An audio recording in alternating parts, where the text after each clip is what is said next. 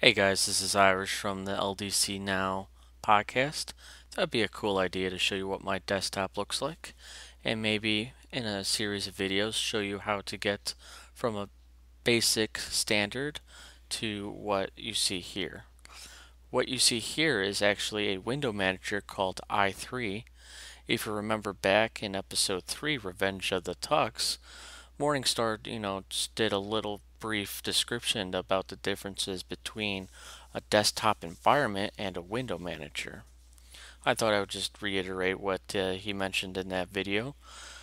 The different, the big difference between a desktop environment and a window manager is that a desktop environment is all eye candy, all flashy. It takes like the GTK toolkit or Qt applications and incorporates it into the desktop environment. Like you see the special effects uh, in Compiz or in uh, KWin, and you have the explosions and you have the cube and all that stuff. That's a desktop environment. A window manager is what it sounds like. It manages the windows. You don't have any flashy effects. It's just a basic bare bones system that doesn't get in the user's way.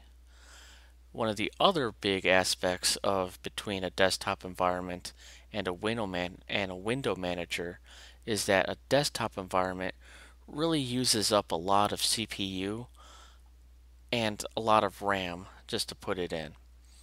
You know, if you have the hardware, you know, good that uh, you can run that and it'll just fly if you have like a like a solid state drive. But if you have limited hardware or don't have much space, then a window manager might be best for you. Uh, like the big difference that I used to run GNOME and right off from a cold boot, you would just see, I would see like maybe 500 to 600 megabytes being used just off of a cold boot in window managers, you might see 100, maybe 200, 300 at most uh, megs used, and that's you know after a given time, it will raise, but not by much. I thought I would just show you what uh, you know. Take a little small tour around the i3 window manager.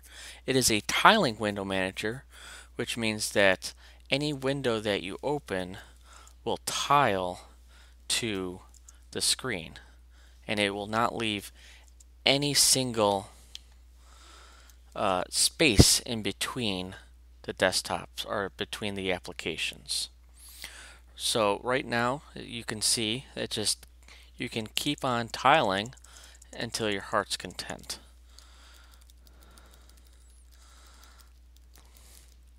But Right here on the bottom is your it's called the i3 status bar. And right over here is your virtual workspaces or your workspaces. Uh, you just have in i3 Manager, you have 1 through 10. So I could have 10 workspaces open with as many applications as my heart can content. And then the cool part with i3 is that it has a built-in system tray, which is over here. This has, you know, just has my basic Wi-Fi, my basic, uh, you know, volume, my ownCloud, my Dropbox, my simple screen recorder, and my Mumble.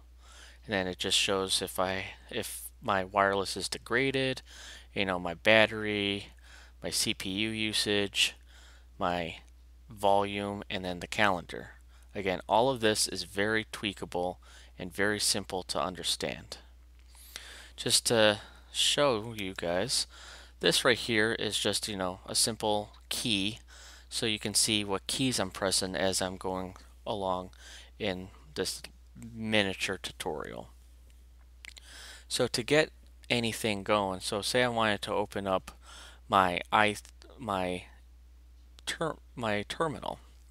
All I do is press mod which is my alt key and then enter and that would bring up my terminal and I can do whatever update my system do whatever but say I wanted to have two of them open you just press it again.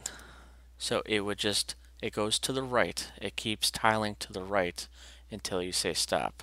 So right now it is tiling horizontal. That's the only issue that I really have in i3 Manager is that they got the vertical and the horizontal mixed up. So to get to vertical, you press Alt V and then you go and they say that's vertical but if you've taken any math courses and done any you know basic graph thing this is horizontal this is vertical so that's the only thing that I have any really major issues with between them so say you want to go back to, to vertical V for vertical is you go here and then say you want to go back to horizontal you just press mod key H and then enter. To exit, if say you wanted to exit out of these programs, you just press Alt Shift Q and then you just press keep pressing them until you come back here. Now the the cool thing is that the only other issue actually that I have that i3 doesn't come with is stuff to make your terminal like this transparent. It doesn't come with one you have to install one like uh, Compton or any of the other um, um, programs that can make your terminal nice and transparent. I use Compton. It's nice and simple that way. Another thing it does not come with is uh, a, an application to get your um, your wallpapers here. Now you can use Feh, which is F-E-H, which I have tried. It's not too bad, but I use nitrogen. This is what you see. This is what I can use to get my wallpapers and change my wallpapers and all that. But let me show you some more uh, basics on the tiling aspects. Say you just don't want it to tile like this. Say you wanted like in a web browser you have different tabs. Say you wanted to tab your different uh, applications. So you would just press Alt and then S. So that would tabbed and that tabbed. I'm sorry, I meant stacked. So these are in stacking mode. I do apologize. So to get it back, you would do Alt E, Alt E, Alt E, and then it's back. Say you wanted to tab them. I'm sorry, it is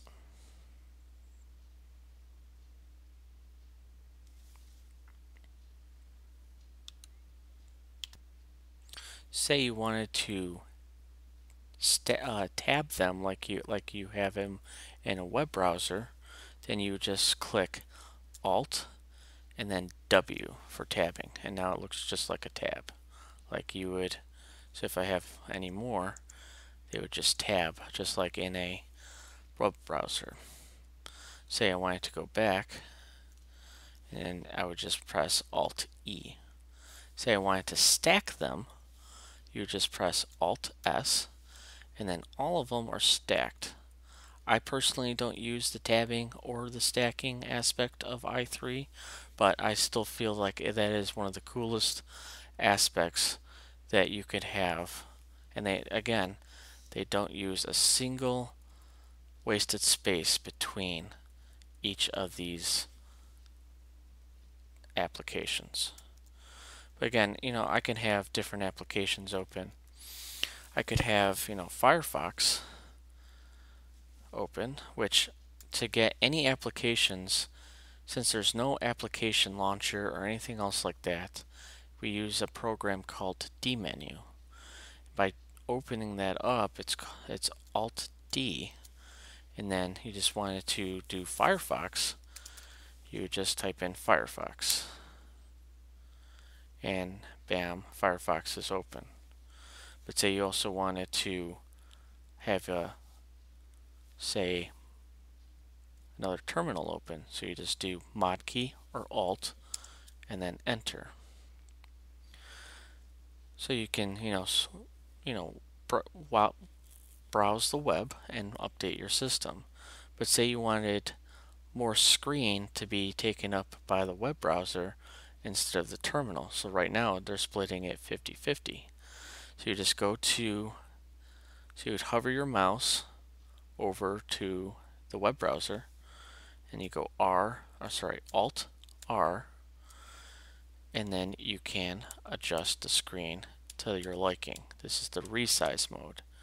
So say I want it like that, I just exit out right there. But say I want that like that, but I want this to be in floating mode. There's a floating mode also. So you do Alt, Shift, then space. So the second one would go, and then to move this window, you press Alt and then the right key, the left key of your mouse, and then you can move it how you want it. To move it back, you do Alt Shift spacebar.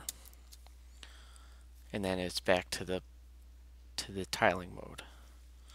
Again, this is just very basic stuff that it's may look simple at first, but once you start using it, you may forget a few things here and there, but it is, uh, again, I cannot say anything highly. I have high regards for the devs of this window manager, and hopefully they keep coming back with even better features. Um, in the next video, I can take a look at the config file and show you, you know, how plain it is. It's very plain that anyone else can read. You don't have to know like a computer program. You don't have to know Java, C, um, Ruby, or anything else like that. It is in plain English. So in the next video, I will show you what that looks like. And if you guys are still interested in it, I will show you how to do from a basic i3 from the default setup to what you see here. Until next time, I will catch you guys later.